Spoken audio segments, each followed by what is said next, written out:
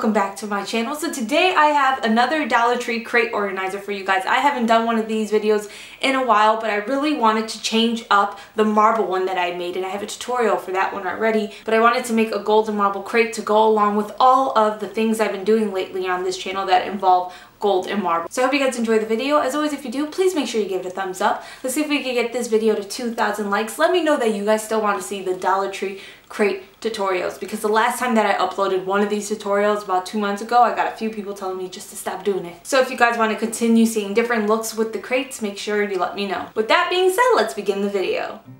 First things first, you'll need crates for this DIY. I got mine from Dollar Tree. I know some of you guys have a hard time finding these crates. Walmart and Menards both carry Sterilite crates that are similar in size you can use to substitute this with. I will say though, the Dollar Tree ones are much sturdier. To attach the crates together, I'll be using zip ties.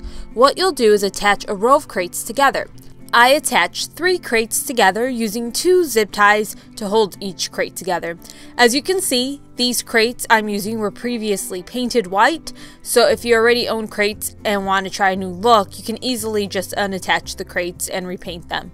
Once I've got three sets of three crates attached, I then attach the sets together again using zip ties. You're going to want to make sure that you cut the zip ties down so the ties aren't just like hanging out there. And also you want to make sure that the part where the zip tie actually attaches, where that hook is, you want to make sure where the shelf will be that it's pointing downward because if you end up putting something on the shelf to make sure nothing slides through it, you don't want to be placing it on top of that hook because it's not going to lay on there properly. Now obviously I wanted to paint my crates gold. To do this I'm using Rust-Oleum's metallic gold paint.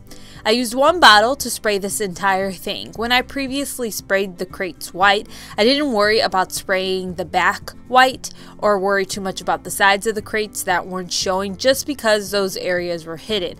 This time I'm not using anything to cover the areas up, so I'm making sure I make all of these areas gold. So that's why I used an entire spray bottle to do it this time. Now I bought 12 by 12 marble sheets from Home Depot for only 79 cents a piece. I cut them using a razor to fit inside of the crates. You just cut the tile piece as thoroughly as you can and then snap the tile with the marble side going toward you. It took me four tile pieces to fill each of the inside of the crates and I did have some leftover tile. Now there's an alternative to this if you don't want to deal with the tile. You can get marble contact paper and use the Dollar Tree foam board to attach the paper to and then cut it down to fit the crates. I'm going to be using the contact paper for the top. If you want to use marble for the top, you can do that as well. I just want to show you how it is when you're using the contact paper. From Dollar Tree, I bought these 5x7 gold picture frames. I got three of them total. Now you're going to want to take the glass out of these frames. If you plan on using the tile, you can just go ahead and throw the tile inside of there and then just put the backing back on. But if you're using contact paper like me, what you're going to do is take that glass and then cut out a piece of contact paper that fits the size of that glass. Once you've got your contact paper cut up, you go ahead and peel the backing off of it and then apply it to the glass. Once you've got it on top of the glass, you want to make sure you use your hand to rub out any air bubbles, and then you could place the piece of glass and contact paper back into the frame. Now make sure you put everything that was inside of the frame back in just because this adds a little bit more support to the frame. That way you can place things on top of it.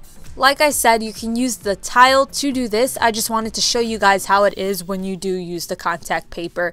Essentially, pretend the glass was the foam board and you would do the same thing.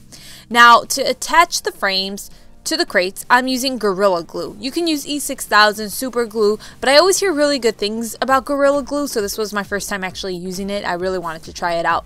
With Gorilla Glue, you're apparently supposed to dampen the area first before you apply the glue on top of it. So that's what I'm doing. I'm using a wet sponge to damp the area.